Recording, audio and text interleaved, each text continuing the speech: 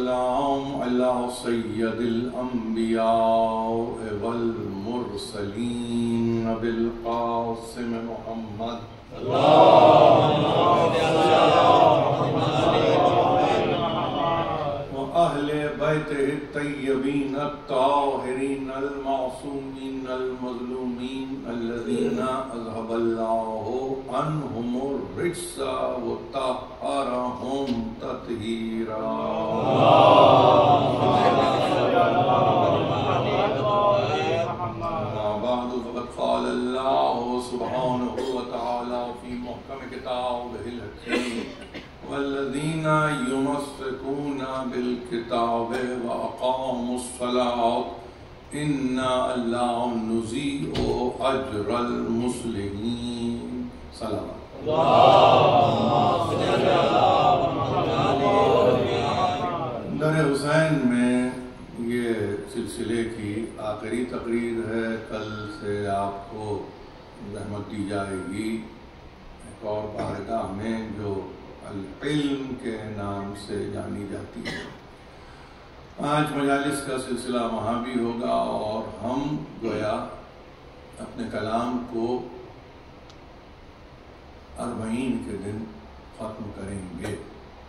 जो मौजू गुफ्तु यहाँ है, वो एक आयत के ज़िम्न में है सूर्य आराफ की, लेकिन उसका महवर और उसका मरकज़ या यूँ समझ लीजिए कि नुकता फ़िक्र। मैंने अपने पेश नज़र रखा कि किसी अंदाज से हम उस खुतबे को कि जो दरबार यजीद में दिया गया है, एक गोया अपनी सूरत के साथ आप तक पहुँचाने की इज़्ज़त हासिल करें। यहाँ ये भी बतलाना ज़रूरी है कि अजीब अजीब तरह से इस खुतबे के असरात हैं कि जिनको उलमा ने दर्क भी किया है और नकल भी किया है। और ये वही मुमकिन है खास तौर पे बच्चों को रहन नशीन करना चाहिए कि एक कलाम अगर कई रुख लिए हुए हो तो इसका मतलब ये नहीं है कि वो मबनी ब शुबहात कलाम है, बल्कि वो आपकी फ़िक्र से तकाजा ये करता है कि जिस दौर में भी रहो और जहाँ भी रहो, इसके असर को समझो इसकी फ़िक्र से हम आहंग हो जाओ और ये देखो कि तुम्हारे मुआशरे में इस खुतबे का असर नफूस क्या है। वरना तो बात से बात अगर निकले तो ये कहना काफ़ी है कि एक मर्तबा का खुतबा था, वो वक्त में महदूद हो गया। ऐसा नहीं ऐसा नहीं। इसने वक्त की बाउंड्री से तजावुज किया है। यानी ये वो कलाम है कि जो मुतजाविज हुआ है हदूद वक्त से। यानी इसने, अगर यूँ कहिए कि इसने वक्त की तनावों को समेट लिया। और आवाज़ को इसने बाकी रखा है। ये वो है। इल्म तबीयत के पढ़ने वाले यहाँ बैठे हैं। उनको मालूम होना चाहिए कि आवाज़ के मानी तबीयत में क्या होते हैं, आवाज़ की रफ्तार तबीयत में क्या होती है। फिजिक्स पढ़ने वाले हजरात, डायरेक्ट मैं खुद एक तालब इल्म हूँ। उनको मालूम होना चाहिए। मखसूस चैप्टर्स आपके पास कायम कर दिए जाते हैं मौनुआ ने, मसलन, रोशनी पर एक चैप्टर आपको मिलेगा पूरा। और उसमें आप फिर तह बतह गुफ्तगु करें। ही आवाज़ के ताल्लुक से भी आपको तबियात में, इल्म तबियात में एक सबक को पढ़ना होता है। ये बुनियादी चीज़ें। और आपका तारुफ वहाँ पर इस नज़रिए से होता है कि आवाज़ है क्या? आवाज़ की कैफियत क्या है? आवाज़ की माहियत क्या है? आवाज़ में सलाहियत क्या है? तीनों चीज़ों को आप पढ़ते तो आपको मालूम होना चाहिए कि जहाँ आवाज़ जिस तरह नूर की रफ्तार को बताने वालों ने बताया, उन्होंने माइल्स में महदूद करके उसको तय कर दिया। गो के आने वाले वक्त ने उन तजुर्बात को भी पीछे छोड़कर नई रफ्तार को मुन किया। ये कहते हुए कि मीडियम को पेश नज़र रखना चाहिए, रफ्तार को तय करने किसी चीज़ की रफ्तार को आप तय कर रहे हैं तो उस वास्ते को भी समझो कि दरमियानी वास्ता क्या है।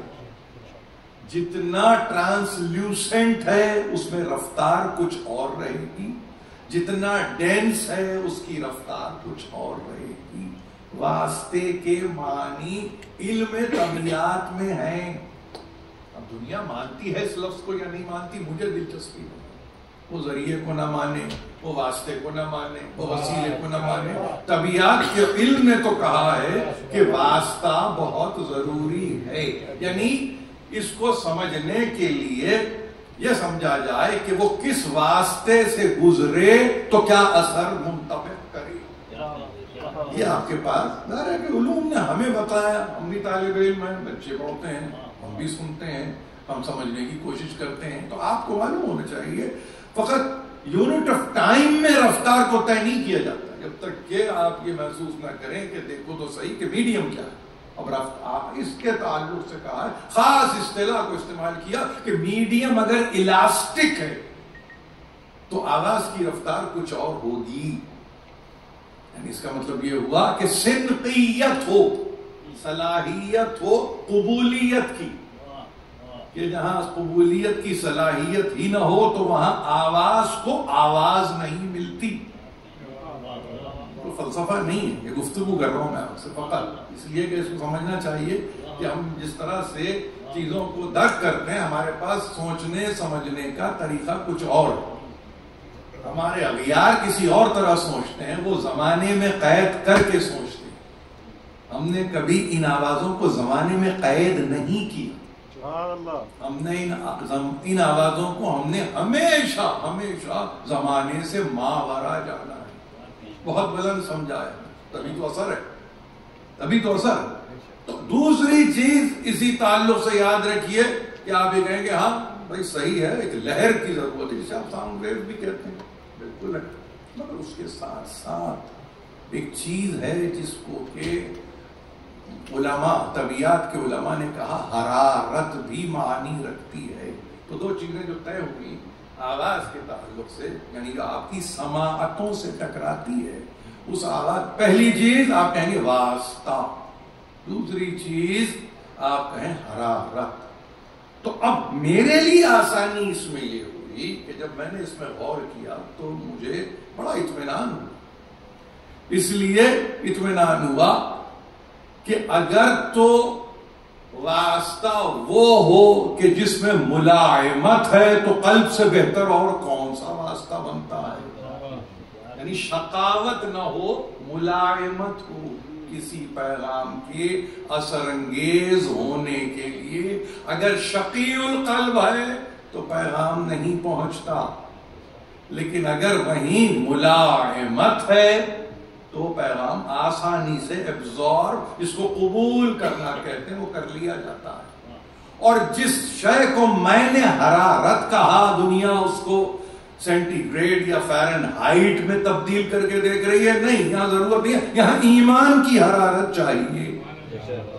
अगर ईमान की हरारत मौजूद है, और दिल में नरमी है, गोशा नर्म हो दोनों सूरतें बाकी अगर रह जाती हैं तो आवाज़ के मानी कुछ और हो जाते हैं। अब एक ऐसी आवाज़ जो हरारत हुसैन इब्न अली लिए हुए हो, जिसे ईमान की हरारत कहा अहादीस मौजूद है। अहादीस मौजूद है कि कयामत तक मोमिन के दिल में ये हरारत रहेगी, जिसे आप कहते हैं नतीज शहादत हुसैन इब्ने अली की सूरत में। आपको ये मालूम होना चाहिए मुस्तदरक मुस्तदरक हाकिम में, जिसको दर्ज किया इस हदीस को, कि ये कयामत तक के लिए वो हरारत है जो मोमिन के दिल में बाकी रहेगी। तो यह हरारत हरारत हुसैन इब्ने अली। और जब ये हरारत तय पा गई तो मालूम ये हुआ कि हाँ इसको एक मीडियम की ज़रूरत है, इसको एक वास्ते की ज़रूरत है। वो वास्ता गैर नहीं होता, वो आपका अपना कल्ब होता है, जिसे कल्ब सलीम कहते हैं। कल्ब सलीम का मतलब क्या हुआ? कल्ब सलीम मतलब हुआ, ऐसा कल्ब कि जिसने अपने आप को बहुजूर परवरदिगार झुका दिया हो। बगर्ज ताअत बगर्ज इताअत। तो ये दोनों चीज़ें जब तय हो गई तो अब इसको सामने रख के जब आप इस खुदबे का मुतालिया करते हैं, इसका मुशाहिदा करते हैं तो आप ये कहेंगे कि मुतासिर से वो होगा कि जिसके दिल में हुसैनी हरारत हो और जिसके दिल में शकावत न हो। तो मालूम ये हुआ कि अब ऑडियंस महदूद भी हो गई और लामहदूद भी हो गई। दोनों सूरतें दोनों सूरतें इसमें इम्कान दोनों हैं। दोनों इम्कान महदूद इसलिए कि चीज़ें मुन है। लामहमूद महदूद इसलिए कि कयामत तक के इम्कान मौजूद। तो अब ये खुदबा रुका नहीं है स्पेस और टाइम में। यहाँ तक मुझे आना था ये रुकने वाला खुतबा नहीं था। ये पैगाम रुकने वाला नहीं था। और जब रुकने वाला नहीं था तो इसने अपने असरात को कायम किया। और ये असरात ऐसे कायम हुए कि आवाज़ दी कूफे में। जनाब जैनब ने।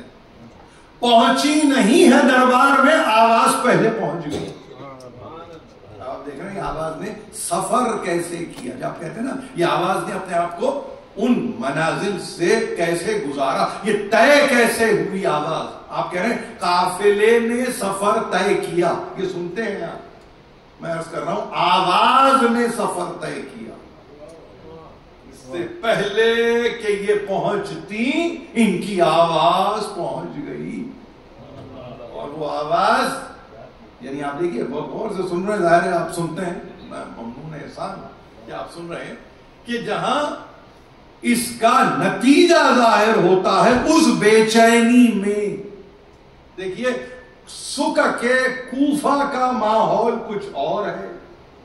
शाम के बाज़ार का माहौल कुछ और है।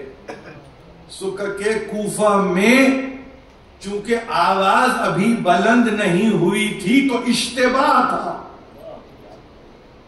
बहुत इश्तेबा था। कौन है? कौन है? कि इस्लाम दुश्मन है। ये वो है कि जो इस्लाम के खिलाफ हैं। ये वो हैं जो हुकूमत वक्त के खिलाफ हैं। ये वो लोग हैं कि जो हुकूमत तलब कर रहे थे। ये वो हैं जो इस्तेकाक जतला रहे थे, गोया के। यानी इतने इम्कान हैं अभी आवाज़ को बुलंद नहीं किया।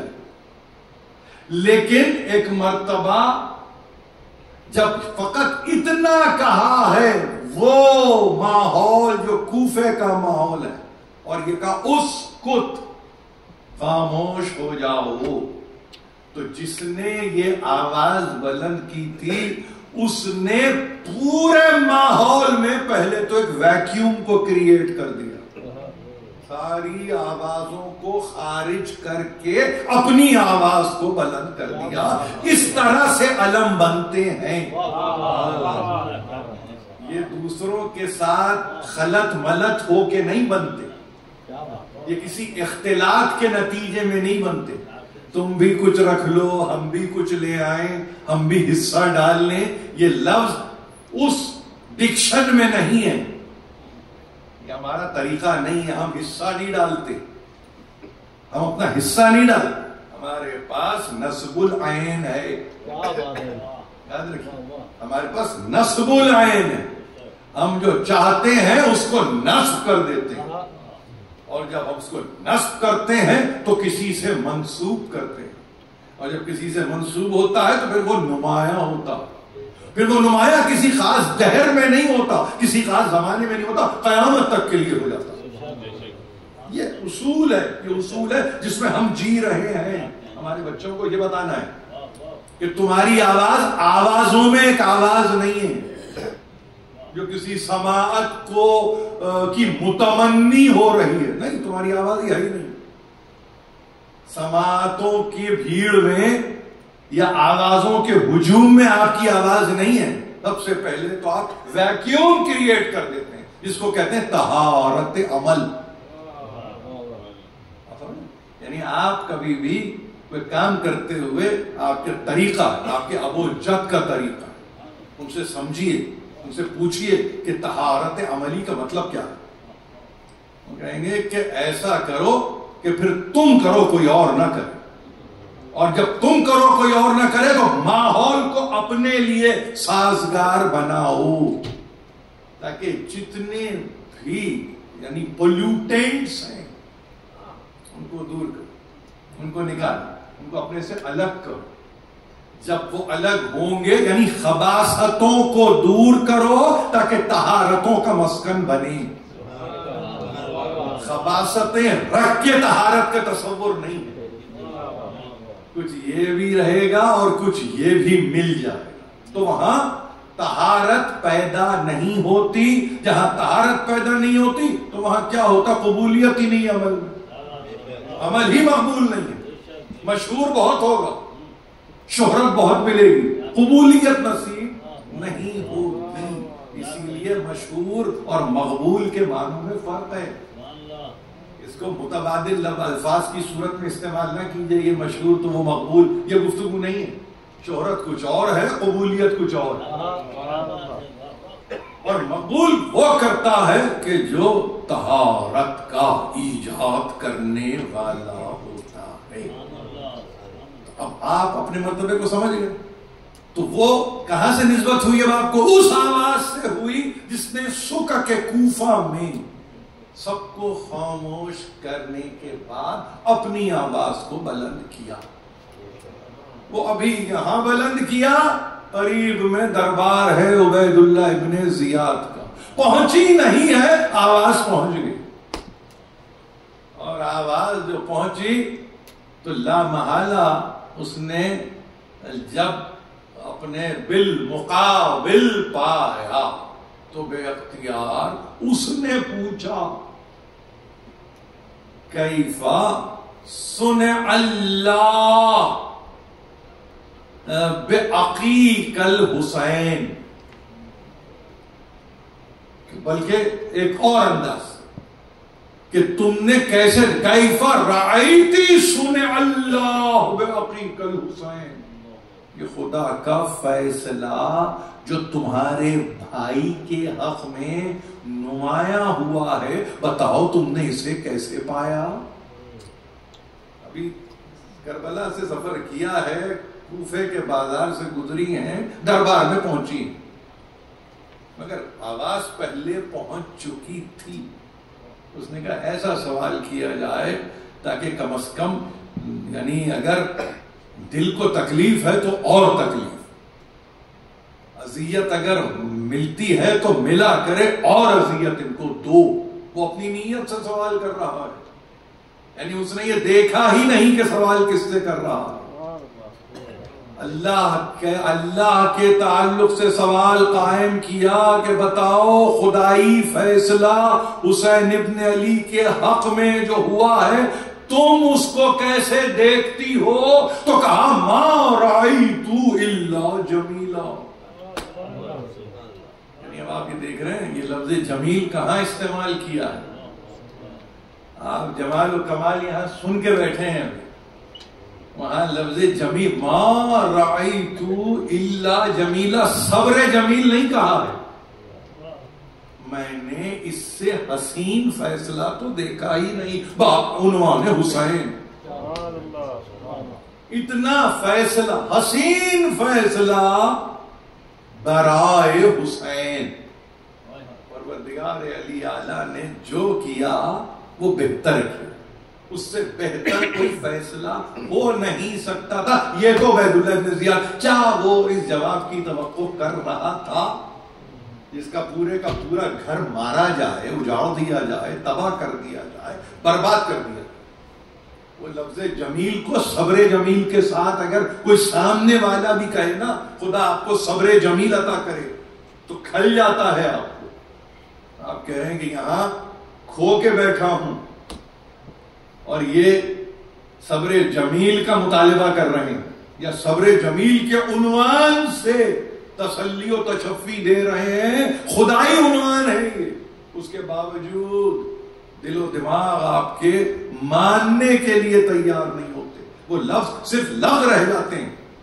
जिसको जो करना है, वो करता चला जाता है। किसी को रोना है तो वो रोता चला जाएगा किसी को सीना कूबी करना है तो वो सीना कूबी करता चला जाएगा। जिससे जिसकी जितनी मोहब्बत और उसके नतीजे। में उतना ही इजहार अकीदत। तो डिग्रीज है ना, ये तो मालूम होना चाहिए आप। तो अब उसके फियत में ये जवाब की जो तो ना करता हो, उसको ये जवाब दे दिया। किस्सा वहाँ खात्म। इसका मतलब ये है कि तुम जो अमल करके बैठे हो और तुम समझते हो, उस अमल के नतीजे में मुझे तुम अजीयत दोगे, बतलाकर, जतलाकर। ये मेरे परवरदिगार का फैसला है हुसैन के हक में। और मैंने इसको इस मंजिल कमाल पर पाया कि उसका जमाल खुदाबंदी है जो नज़र आता है इस फैसले में। खुदा का जमाल। आप जमाल को फ़ौरन हुसन से मिला देते हैं। मगर इस जमाल को रख के देखिए कि इसका मतलब क्या? इसका मतलब क्या? इसमें हिम्मत भी है, जुरात भी है। इसमें शहामत भी है, शहादत भी है। अजीब फैसला अजीब फैसला इंसानों पे ऐसे असरअंदाज हुआ। ये आवाज़ अभी यहीं की थी ये आवाज़ पहुँच गई शाम। और बताने वाले ने जाके बता दिया कि इस तरह से आई है दरबार में। तो किसको अब कॉशियस अप्रोच के साथ आगे बढ़ना है, जैनब को या यजीद को?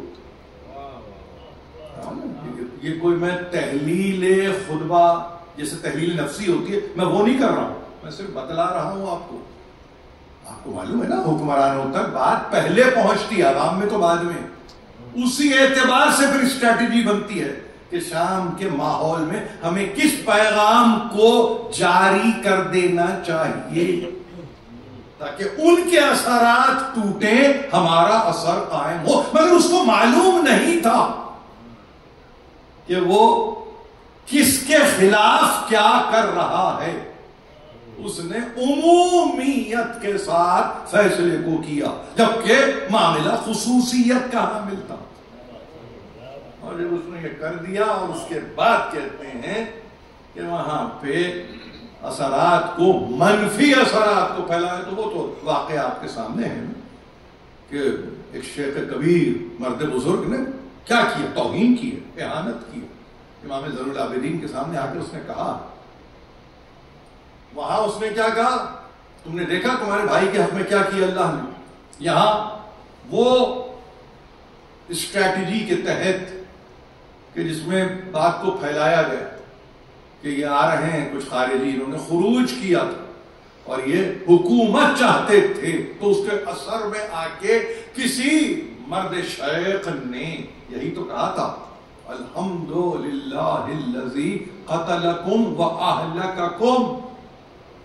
तारीफ़ अल्लाह की जिसने तुम्हें कत्ल किया और तुम्हें हलाकत के हवाले किया, हलाकत। सख्त जुमले हैं मगर वो कि जो असीर है, असीर, जिसको कहते हैं गिरफ़्तार पला इम्तिहानों में घिरा हुआ, उसने क्या कहा? उसने कुछ नहीं कहा। उसने कहा, सही तू अपने जगह सही है, मगर इतना बता दे। देखिए वो मीडियम की बात हो रही तू इतना बता दे, तूने कुरान पढ़ा है।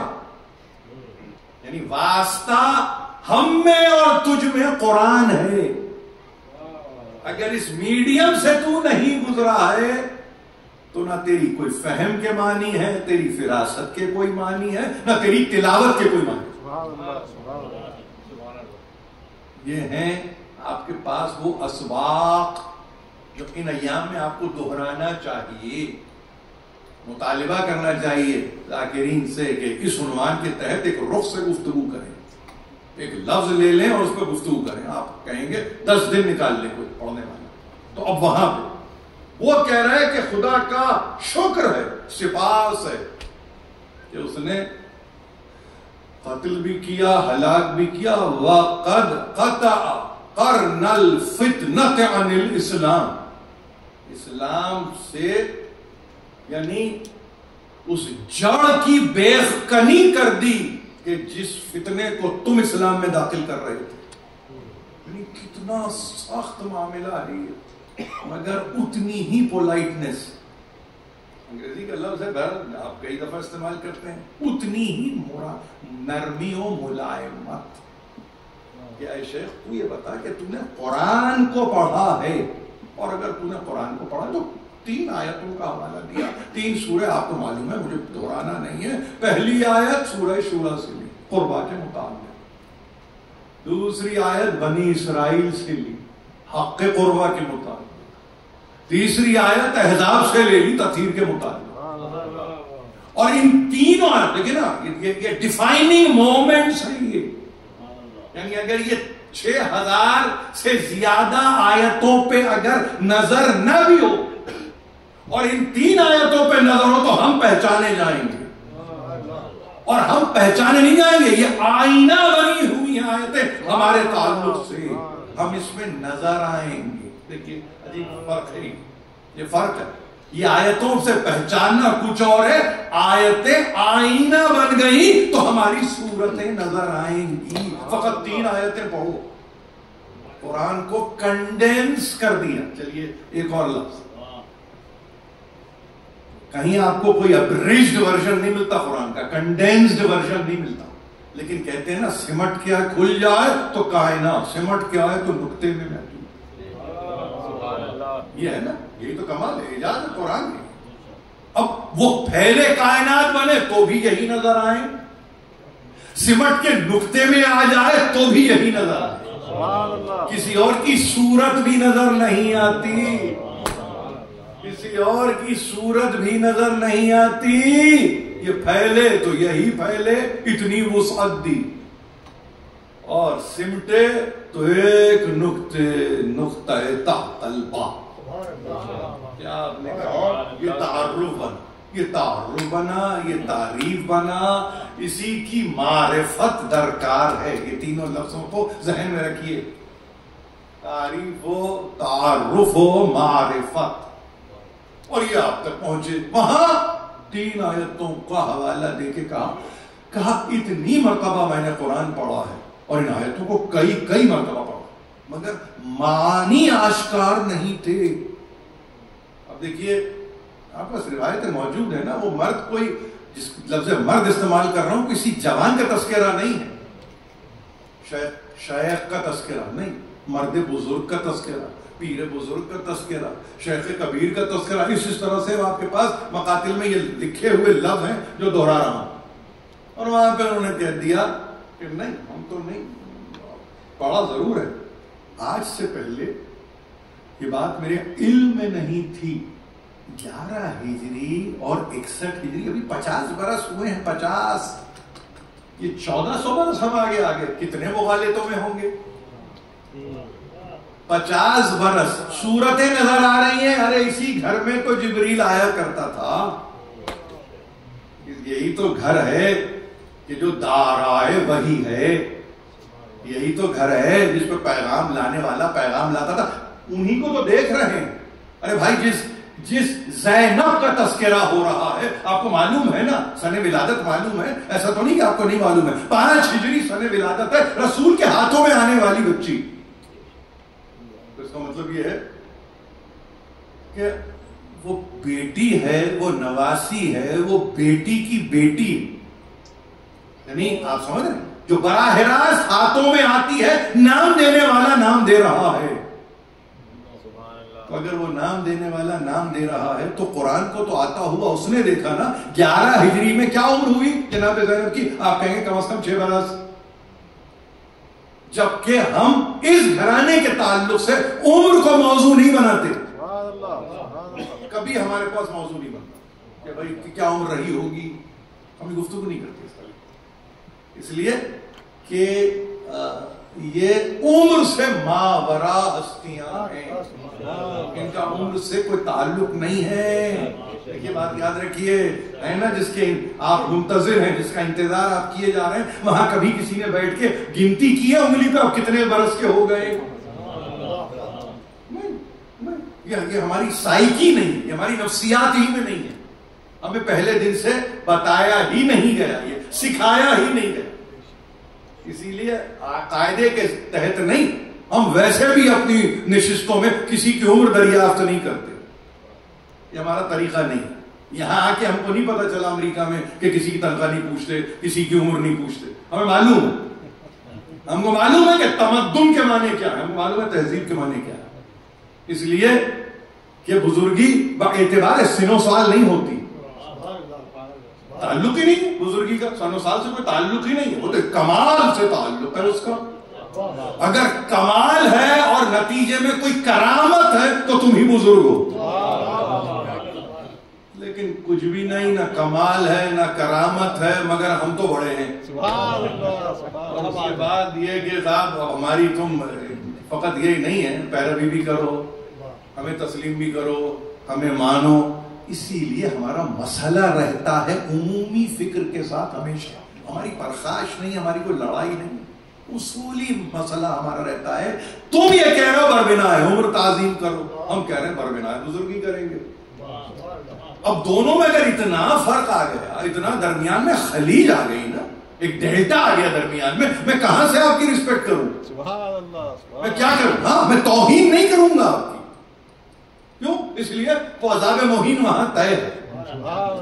तोहीन आमेज अजाब वहाँ तैयार कर लिया गया है। मेरी तोहीन से क्या वो कम हो जाएगा? नहीं, वो तो इंतहाई है ना। इंफिनिटी वाली मंजिल है उसकी। तो अब यहाँ पे आने के बाद आप कहेंगे ये देखिए कि ये गुफ्तु हो रही है तो वो मर्द होगा बुज़ुर्ग। और ये बेशक हो चौबीस बरस का। वो मर्द हो बुज़ुर्ग और ये हो चौबीस वर्ष का। तूने कुरान पढ़ा है? तूने हमें कब देखा कुरान में? ये बता। हम तो कुरान में नज़र आते हैं और अभी तीन ही आयते हैं तो वहाँ उसने कुछ नहीं किया। उसने कुछ नहीं किया सिवा इसके कि उसने अपने रुखसार पे तमाचे मारे। और उसके बाद ये कहा कि मैं परवरदिगार की बारगाह में तौबा पेश करता हूँ और मुड़ के एक मरतबा इससे पूछा, इसी नौजवान से, जो रसन बसता कि तू बता कि मेरी तौबा कबूल भी हुई कि नहीं हुई? हुजूर खुदाबंदी में तायब होने वाला 24 बरस के लड़के से मुड़ के पूछता है कि तुम बताओ कि ये तौबा कबूल हुई कि नहीं हुई? यानी तीन आयतों में समझ में आ गया नुमाइंदा इलाही ये है। दुनिया की समझ में आज तक नहीं है। पूछो बाज़ार में समझ में आ गया। यानी हाल दिगरगू है पुरसाने हाल कोई नहीं है पूछने वाला कोई नहीं अगर जब ये पेश कर दिया तो उसने कहा कि बस ये बताइए क्या मेरी तौबा कबूल हो गई? तो वहाँ भी यूनिवर्सल ट्रुथ पेश कर दिया। अगर तू तायब होता है दिल से, खुलूस से, तेरी तौबा कबूल। ये सब कहने की ज़रूरत नहीं है। मैं कह रहा हूँ, वो कह रहा है। इस तरह की गुफ्तु नहीं होती। तूने अगर इखलास से दिल खुलूस है दिल के साथ तूने अगर तौबा को उसकी बारगाह में पेश कर दिया है तो तौबा तेरी हो गई। हाँ हम जमानत अब तेरी ये देते हैं कि हमारे साथ महशूर होगा, कयामत में अब तू। क्यों क्यों तूने हमारे हक को पहचान हक को पहचानना आप देख रहे हैं हक को पहचानना तो इसका मतलब क्या हुआ? इसका मतलब यह है कि कुरान का मुतालबा अपनी जगह सही है कि हम अजर जाय नहीं करते उनका, जो अपनी इसलाह कर लेते हैं। यही तो मान की आयत है। हम अजर को जाया नहीं करते, जो इसलाह करता है हम उसके अजर को जाया नहीं करते। एक अकाउंट है जिसमें तुम्हारा अजर है कि जमा हो रहा है। और तुम्हें इख्तियार दिया जाएगा कि तुम उसको अब इस्तेमाल करो अपने हक में।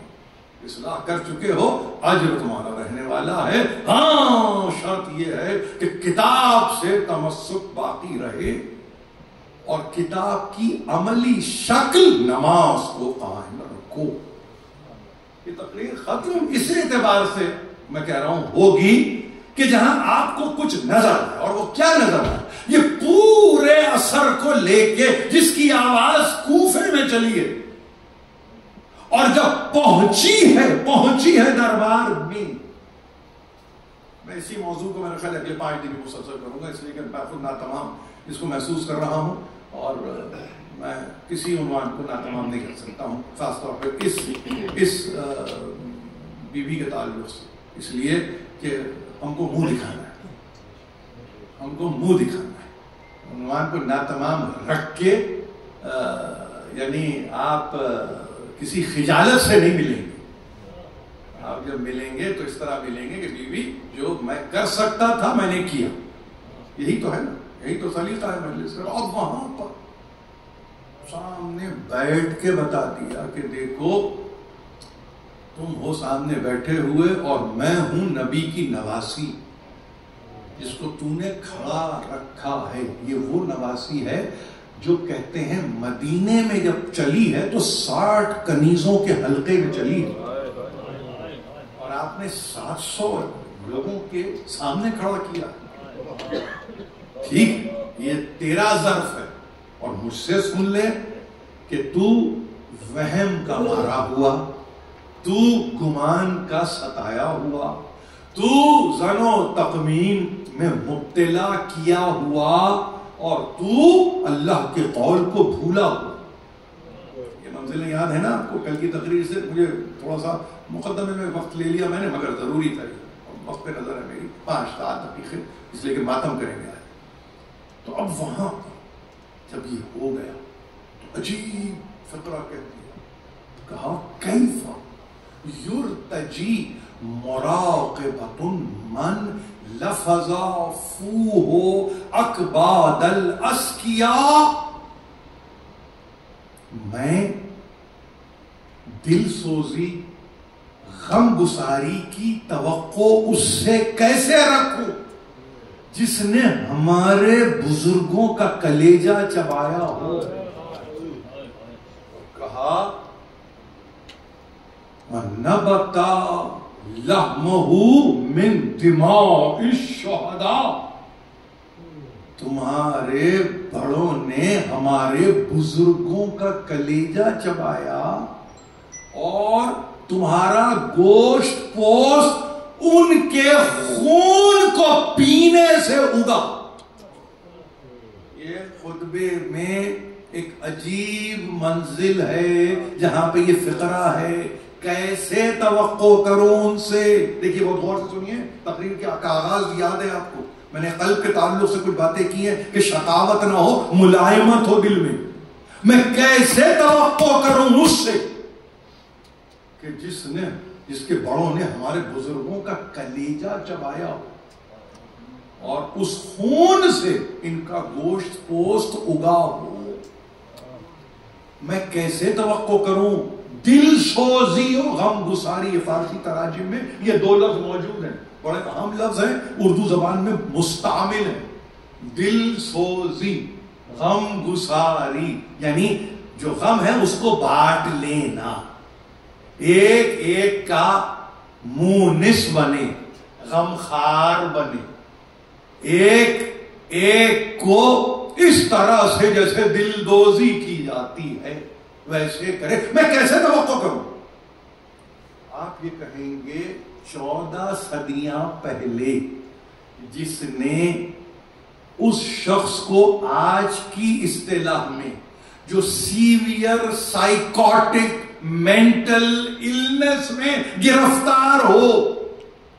इसके लिए मालूम है, एक पूरी स्टडी है, पूरी स्टडी। उसको क्या कहते हैं? कैनिबलिज्म।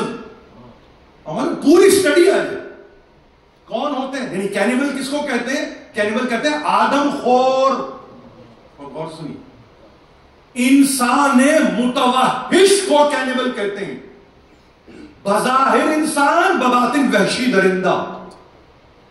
चौदह सौ बरस पहले दरबार में जो फिक्रे इस्तेमाल किए उस पर आज स्टडीज़ कंडक्ट हो रही है। आज। ये एहसान है जनाब जैनब का। ये एहसान है। भाई, ऐसे तो तारीख को उठा के देखेंगे कैनिबलिज्म की तारीख डेढ़ मिलियन साल पुरानी है, अफ्रीका में। उसकी बात में बात आ रही है तो कह रहा हूँ, मुझे नहीं मालूम, कहना चाहिए, नहीं कहना चाहिए, मगर मालूम है, युगांडा का आखिरी जो डिक्टेटर जिसको ईदी अमीन के नाम से आप जानते हैं, वो रिनाउंड कैनिबल रहा। यानी जो आजाए बदन को खाए। वहाँ ये आज तक की तारीख है, गुजश्ता सदी तक की तो बात पहले आई और बीबी क्या कह रही है कि मैं उनसे तवक्को क्या करूँ? कि जिन्होंने हमारे बुज़ुर्गों के कलेजे को चबाया। मैं कुछ नहीं कहता मैं फकत यह समझना चाहता हूँ कि जहाँ शकावत कलबी है और जहाँ हुसैन और औलाद हुसैन को न माना जा रहा हो तो क्या मैं डिड्यूस करूँ कि ये वहीं से सिलसिला शकावत का चल रहा है? कि जैसा कहते ना इन्हीं के बुज़ुर्ग तो नहीं थे। कि जिनके गोश्त और पोस्ट उगे हैं, उस खून से जो बहुत के दिन हमजा का कलेजा जमा के खाने वाले थे। आज आपको असरात मिलते हैं। हम कहने की पोजीशन में नहीं है। इसलिए कि हमारे पास उतनी ताकत नहीं है कि हम इस पर स्टडी कंडक्ट कर लें। हो सकता है आज से सौ वर्ष के बाद एक जमाना आए कोई बच्चा बच्ची आगे बढ़ के कहे कि इनके दिल में हुसैन से शकावत है। ये शकील कल्ब है। जरा ट्रेस करो इनको कि ये कहाँ से मिले हुए। बहुत अजीब बात कर रहा हूँ, बहुत अजीब बात कर रहा हूँ। शायद थोड़ा सा वक्त से पहले गुफ्तु हो गई ये थोड़ा सा वक्त से पहले मैंने गुफ्तु कर ली। आज हमारे पास शायद वसाइल नहीं है, लेकिन यहाँ जिस मुल्क में बैठे हैं, वसाइल ही वसाइल है। आज आप अगर अपने प्रोजेक्ट को अपने सुपरवाइजर के सामने जाके एक पूरा आप उसका खाका बना के रख दीजिए। और कहिए कि मैं ये स्टडी करना चाहता हूँ तो चूँकि अकीदे से उनका ताल्लुक नहीं होता स्टडी से उनका ताल्लुक होता है तो हो सकता है इजाज़त भी मिल जाए। अच्छा तो तुम मौजू बहस बनाना चाहते हो कि हुसैन दोस्ती अच्छा हुसैन दोस्ती, हुसैन दुश्मनी अच्छा हुसैन दुश्मनी। ये दुश्मनी ऐसे पैदा होती है कि कहीं किसी ने इनके खून में अपने हाथ रंगीन किए थे। देखिए बहुत अजीब बात हमजा पे तो आप रुक जाएँगे हद में। लेकिन इकसठ हिजरी को कैसे भूल जाएँगे आप? क्या हुसैन का जिसने सर काटा होगा, उसके हाथ हुसैन के खून में नहीं भीगे होंगे? क्या जिसने हुसैन के लाशे पे घोड़ों को दौड़ाया होगा उन सुमों पे हुसैन का खून न लगा होगा। वो घोड़े कहीं गए नहीं होंगे, उन पे कोई और सवार नहीं हुआ होगा। क्या ख्याल है क्या ख्याल है आपका? एक अजीब बात है, अजीब रुख है इस गुफ्तगु नहीं सुना होगा? आपने एजाज है मुझे, शायद इफ्तार है मुझे कि मैं अर्ज़ कर रहा हूँ कि यह कैफियत है इसकी स्टडी का, पोटेंशियल देखिए आप, कि अगर मुलायमत दिल में नहीं है इस ज़िक्र के ताल्लुक से। नरमी कल्ब में नहीं है इस ज़िक्र के ताल्लुक से। और शकावत इल्मियों, अमली का कोई मुजाहिरा कर रहा है तो लामहाला पढ़े लिखे अजहान को सोचना चाहिए कि तारीख में एक बीवी थी जिसको शहजादी जैनब कहा जाता था, वो दरबार में खड़े होकर, वो ये कह रही थी हाकिम वक्त से कि मैं तुझसे दिल सोजियो, गम गुसारी की तवक्को कैसे करूँ? ये गम गम बांटने की तुझसे तवक्को कैसे हो? जबकि तेरे बुज़ुर्गों ने, तेरे बड़ों ने, मेरे बड़ों, मेरे बुज़ुर्गों का कलेजा चबाया और अपने आप को उस खून में, जो उनके कलेजे का खून था, उसको अपने दहन तक पहुँचाया अब मालूम मोहद्दिस शिराजी ने कहा, हिंद बिनते अतबा इब्ने रबिया, ये नाम है। उसी शख्स की दादी का, जिसके, जिसका हवाला दे रही हैं यहाँ दरबार में, हवाला दे रही हैं। वो वो ये कह रहा कि मोहद्दिस शिराजी साहिब रोजतुल अहबाब, ये किताब का नाम। उसमें उन्होंने लिख दिया कि उसने बाकायदगी से वहशी को ये असाइनमेंट दिया कि तू हमजा को गिरा। तो कहते हैं कि एक समझिए कि वॉर इंस्ट्रूमेंट कह लीजिए, इक्विपमेंट कह लीजिए असलहे की एक सूरत ले लीजिए, उसको कहते हैं हरबा। वो नेजे से छोटी एक चीज़ होती है, बड़ी पॉइंटेड चीज़ होती है। वो उसका चलाने वाला, फेंकने वाला। उसने मारा, नाफ में लगा। ये मोहम्मद शिराजी है, पढ़ने की ज़रूरत है। और कहा कि उसके नतीजे में आप एक बल खा के गिर गए। और ज़ाहिर है कि जब गिरे तो शहादत इंतहा में ये कौन जा रहा था दुनिया से? जिसको जिसको जिसको असदुल्लाह भी कहा, असद रसूलुल्लाह भी कहा, खुद रसूल ने सैयद सैयदुशहदा कहा। उसके खून में हाथों को रंगीन किया, सीने को चाक किया कहते हैं जिगर को निकाला, इसीलिए आप कहते हैं ना जिगर खाने वाली हिंदा निकाला, कहते हैं, मुहद्दिस कहते हैं कि चबाया, निगला न जा सका, उगल दिया, गले का हार बना लिया। यह है। आप हैरान होंगे, आपके गुजश्ता सदी के बड़े मुहक्क हैं शिवली नौमानी। उन्होंने सरफ नज़र किया इस पूरे वाक़े आज अहले सुन्नत के स्कॉलर्स ने इस वाक़े को शुभे में बदल के ये कहा, मुमकिन है ऐसा हुआ हो। मुमकिन है ऐसा हुआ हो। बात यकीन की हद तक नहीं की जा सकती। ये तारीख को बदलने वाले लोग आज भी मौजूद हैं। यानी स्टैब्लिश फैक्ट को बदल दिया तो उससे क्या फ़र्क पड़ता है? मेरी बात और सुना। उससे फ़र्क इसलिए नहीं पड़ा कि शिवली के कहने से फ़र्क नहीं पड़ा। इस पूरे वाक़े को एंडोर्स कर दिया जनाब जैनब ने अब आपके पास क्रेडिबिलिटी शिवली की सिफर बटा सिफर। एक दफ़ा का झूठा हमेशा का झूठा। अब वो कुछ भी करे। अब आप कहेंगे साहब आप ये क्या की बात कर रहे हैं? इतनी बड़ी किताब लिख दी सीरत नौमान लिख रहे हैं वो। रसूल के ताल्लुक से वो लिख रहे हैं। आप तो अजीब आपने बात कर दी। एक दफ़ा का झूठा, इसलिए हमारे पास मुहदस के लिए बड़ी कड़ी शराय है झूठ कह दिया, अब तुम कुछ भी कहते रहो, ये हदीस है, ये हदीस है, ये कौल है, ये कौल है, हम कबूल नहीं करते, तुम एक दफ़ा के झूठे। नोमानी ने इस वाक्य को नकल नहीं किया, औलाद हैदर फौक बिन गिरामी ने बाकायदगी से लिखा अपनी किताब में। उन्होंने कहा कि सरफ नज़र किया और जब सरफ नज़र किया, यानी उन्होंने इसको माना ही नहीं इस वाक्य लेकिन मोजा है कि जनाब जैनब ने दरबार में इसको न सिर्फ़ ये कि फैक्ट के तौर पे एविडेंट कर दिया इस फैक्ट को। और ऐसे कर दिया फिर इसके नतीजे में अब दुनिया कहे ना कहे जैनब कह के जा चुकी जैनब कह के जा चुकी है तेरा गोश्त पोस्ट उगा है। आप मालूम है? ज़रूरी नहीं कि वो रहम मादर में उस वक्त हो। अब ये जीनियोलॉजी और जेनेटिक स्टडीज़ है। असरात असरात कि तेरी दादी किसी का जिगर चबा सकती है? उसने चबाया है तो उसका एक असर होगा। आप मालूम ना? जेनेटिक म्यूटेशन एक लफ्ज है ये। अब इस पर मैं गुफ्तगु तो नहीं करता लेकिन मैं बताना चाहता कि कैसे कि आप ये नहीं कह सकते कि रहम में था माविया नाम ले लिया। मैंने नाम ले लिया। ताकि कल के दिन ये भी ना हो कि साहब नाम नहीं लिया।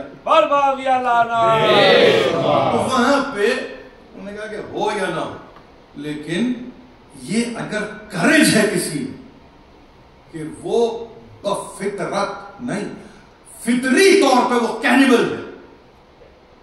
यानी इंसान मुतवाहिश, वहशी इंसान चाहे कि एक औरत है। और उसने इस अमल को इख्तियार किया। तो ये अमल का इख्तियार करना उस तक महदूद नहीं रहेगा, ये नस्लों में चलेगा। तो अब अगर वो उसका बाप हो तो और ये खुद हो तो।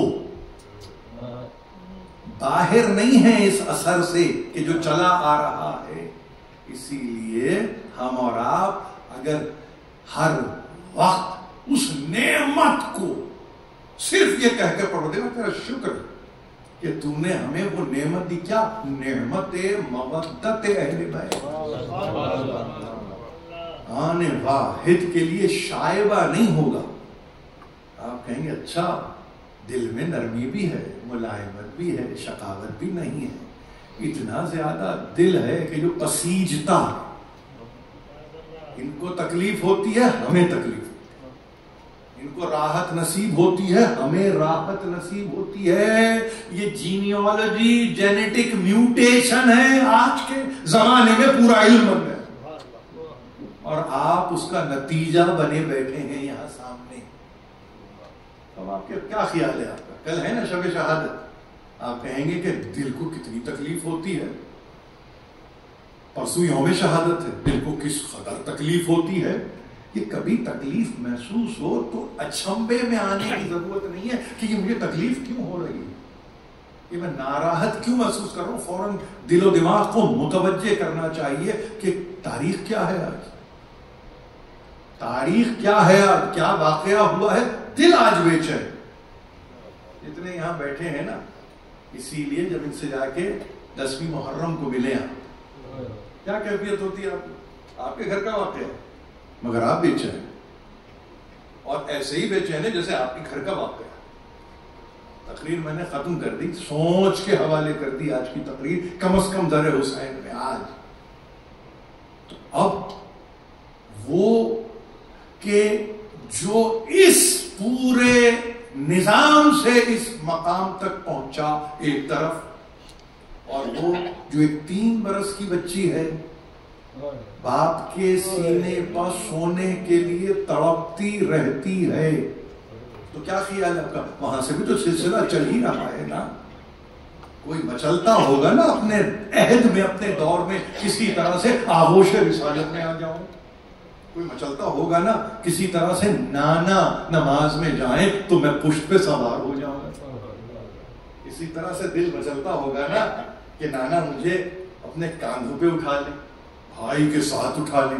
नाना, हम अगर कुछ तहरीर लिखें तो नाना फैसला करें। तो ये अबो जद को इस तरह से मुस्तहजर रखना। ये नस्लन बाद नस्लिन आया तो तीन वर्ष की बच्ची को कोई कैसे कहे कि तुम्हारा बाप नहीं है? वो देख तो रही असरे आशूर गए और फूपी अम्मा के हवाले करके। मगर फिर नहीं आए। हाँ लाशें पे गई। लाशें पे गई। और मेरे पास जितनी किताबें सर बुरीदा लाशे पे भी गई।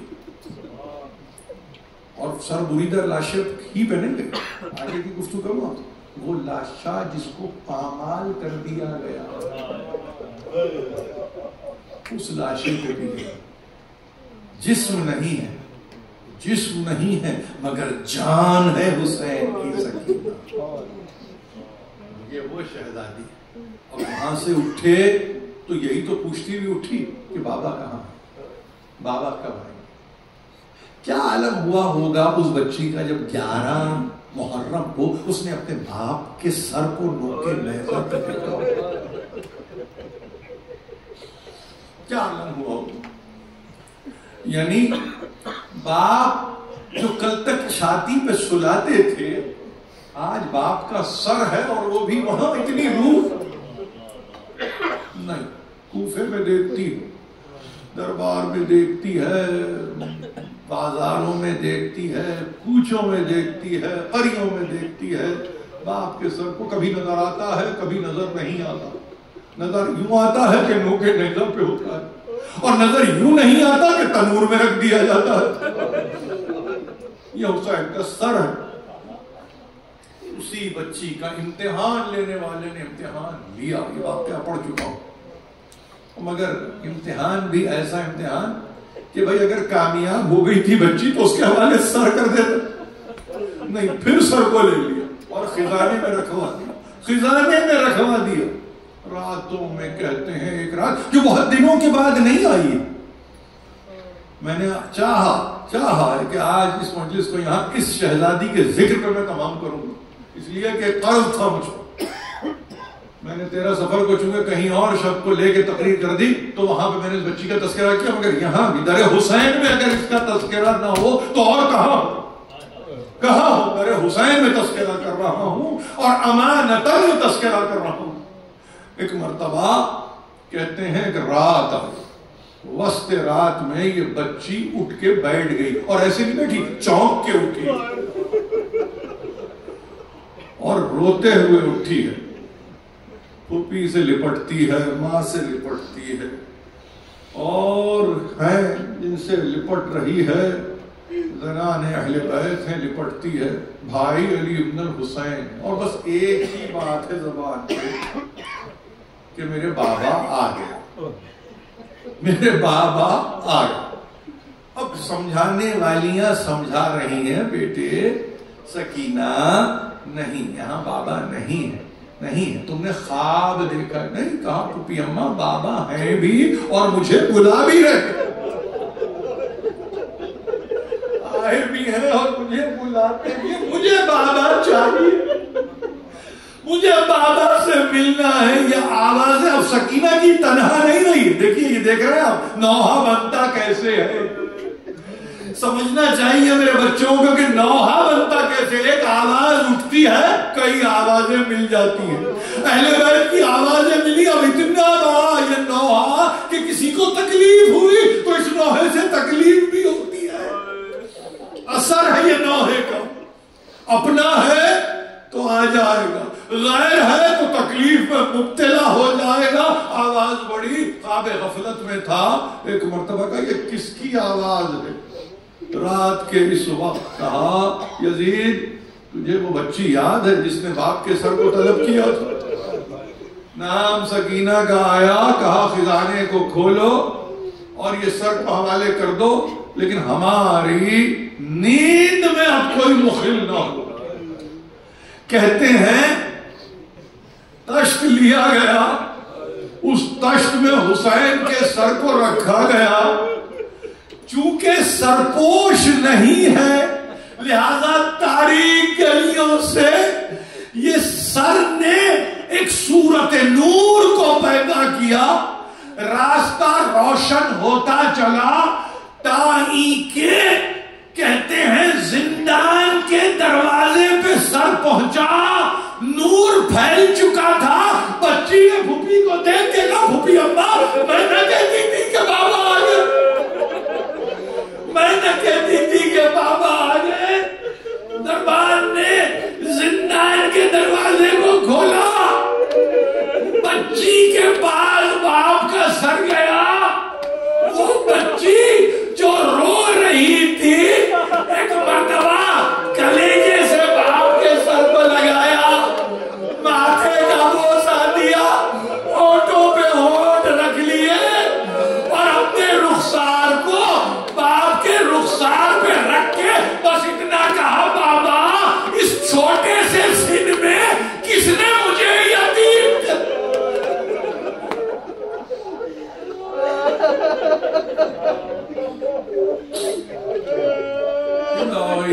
व मौलाया व रब्बी परवरदिगार इस अली तवस्सुल को हमसे कबूल फरमा ईमान है जमाए कामिल अगर रोज़गार रोटी मुहैया कर जो परवरदिगार मरीज़ है शिफा काम वासित है सकीना हुसैन नसीब फरमा हमें कोई मोहम्मद सिवा मोहम्मद के तालीम फरमा और हुज्जत में माता Hussain Ya Hussein, Ya Hussein, Ya Hussein, Ya Hussein, Ya Hussein,